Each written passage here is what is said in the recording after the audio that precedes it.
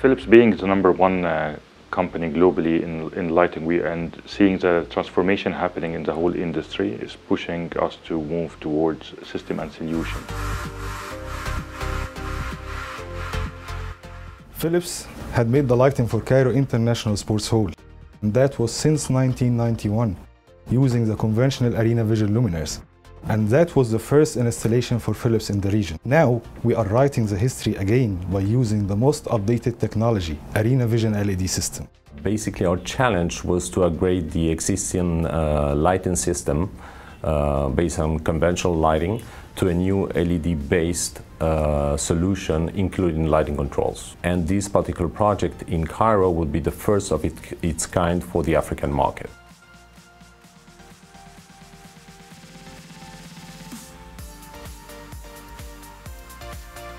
The first step of the process was the lighting design.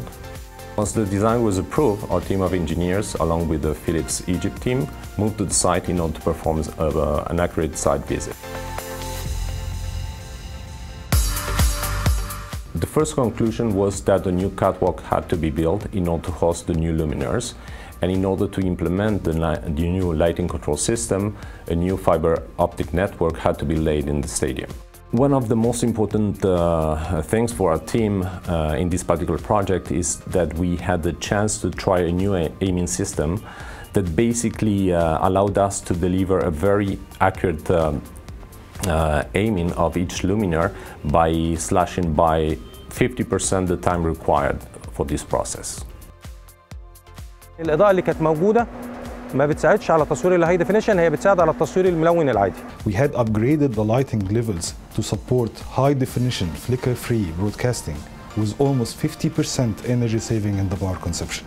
This system uh, is uh, DMX based, which allow us to control every single luminaire. And uh, for this particular project, we uh, we programmed five different scenarios. So for international broadcasting, national broadcasting, national games, trainings and competitions.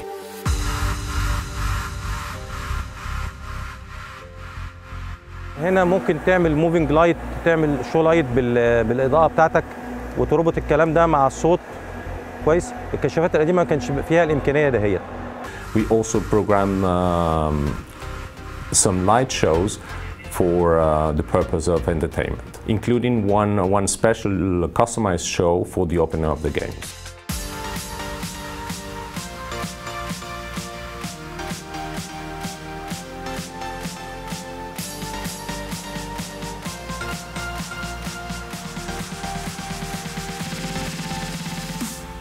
I believe the importance of the project itself, it will be used as a landmark.